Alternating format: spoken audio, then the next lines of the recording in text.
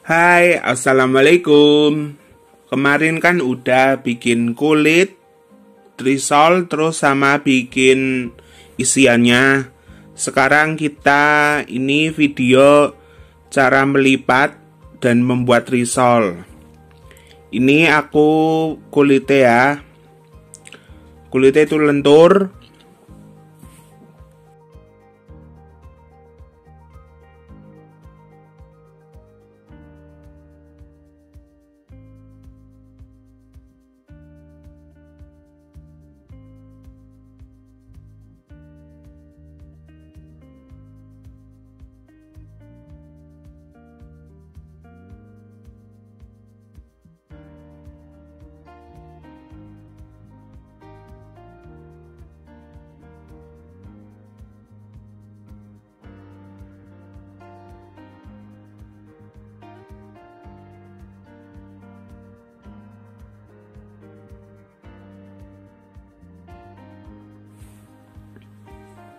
Habis itu kita lipat, dilipat, terus dilipat dari bawah ke atas, terus dilipat kanan kiri, terus digulung. Udah gitu aja, simple kan?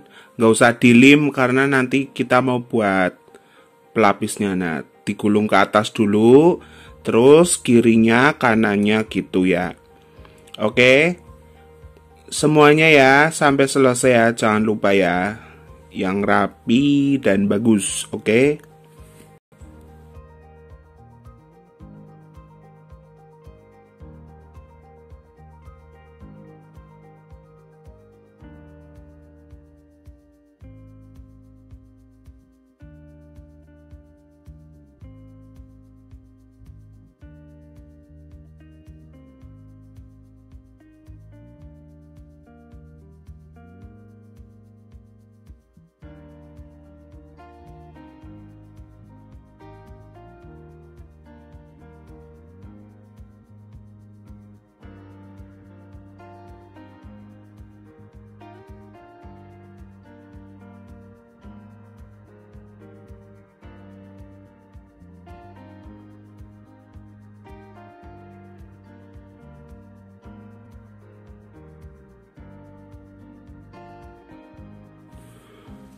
Kalau aku itu sukanya risol yang bundar kan biasanya ada risol yang agak gepeng gitu.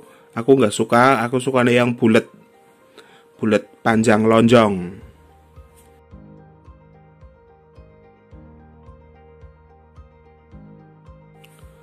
Nah ini yang udah jadi ya, lihat ya tuh nggak sobek, padat tapi nggak terlalu, jangan dipaksakan padat banget nanti sobek ini semuanya aku udah semuanya. Hasil jadine 43 biji. Ya dilihat ya nggak sobek. Hasilnya itu bagus. Sekarang kita mau buat pencelupnya. Bahan pencelupnya itu aku pakai terigu 2 atau 3 sendok makan pakai garam secukupnya terus pakai air remipil aja ya. Diaduk aja kayak gitu Cukup diaduk-aduk aja terus sampai nggak ada yang menggumpal.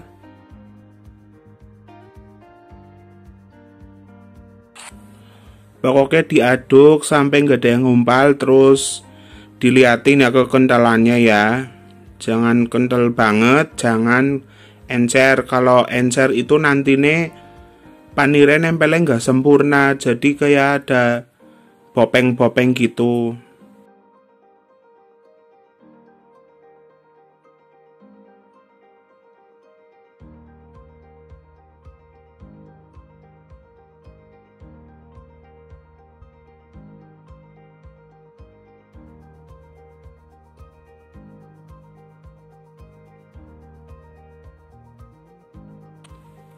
Nih kalau ke kekentalannya udah pas, kalian bisa masukin risole, terus diguyur-guyurin biar rata. Semuanya aja. Ini aku pelapisnya sama sekali nggak pakai telur karena biar irit juga ya kan. Ini panire, panire nuang nane apa ya? Itu aja ya. Bertahap.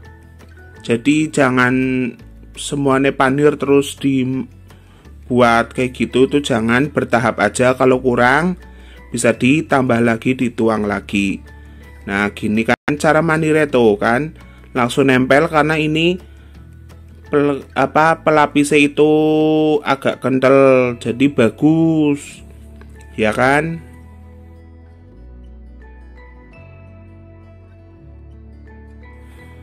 kalian lapisi semuanya ya sampai habis. Ini aku jadi 30 eh 43 biji sekitaran segitu. Pakai teflon ukuran 22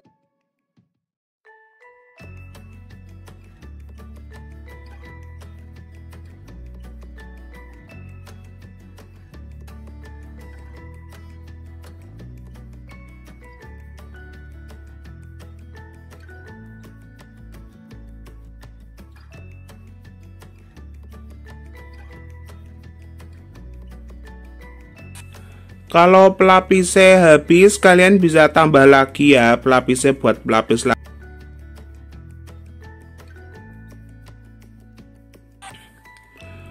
Nah, ini yang udah jadi semuanya. Aku diler dulu apa ya? Diler ya. Pokoknya ditaruh kayak gitu, dianginkan dulu lah selama satu atau dua jam. Itu fungsinya biar kering agak kering gitu. Oke, nah ini panir sisa. Panir sisa bisa disimpan lagi asalkan kalau ada yang menggumpal bekas pelapisnya itu di itu ya dibuang. Caranya itu digoyang-goyangin aja. Terus kan nanti yang besar-besar di atas. Nah, ini kan Nah, ini tuh itu bekasnya pelapis itu harus dibuang aja ya karena kalau enggak nanti jamuran. Jadi kalau itu nih enggak ada itu awet. Bisa awet juga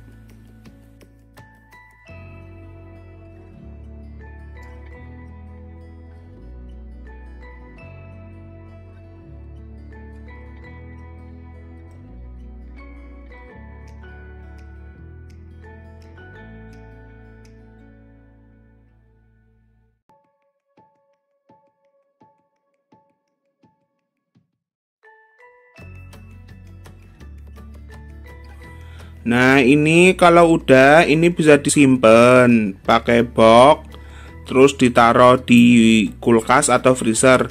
Kalau ditaruh di kulkas itu tahannya cuma 3 atau 4 hari sampai seminggu. Setelahnya itu rasanya bakal berubah. Tapi kalau di freezer itu sampai bulanan nggak masalah. Bagus bagus aja ya. Nah ini aku